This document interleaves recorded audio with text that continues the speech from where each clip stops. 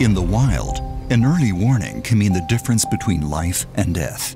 When a predator approaches, Richardson's ground squirrel moves its body to produce sounds of rushing air, which consist of ultrasonic frequencies that are inaudible to the animal and human ear. Other squirrels are able to detect this warning and take cover. Thanks to this ultrasonic early warning system, the squirrels survive. In the hydrogen plant, where safety is crucial, ultrasonic early warning provides additional protection. The Draeger Polytron 8900 uses an ultrasonic acoustic sensor to listen for hydrogen gas leaks, which are inaudible to the human ear, providing a reliable and crucial early warning system, and thereby preventing hydrogen fires and explosions.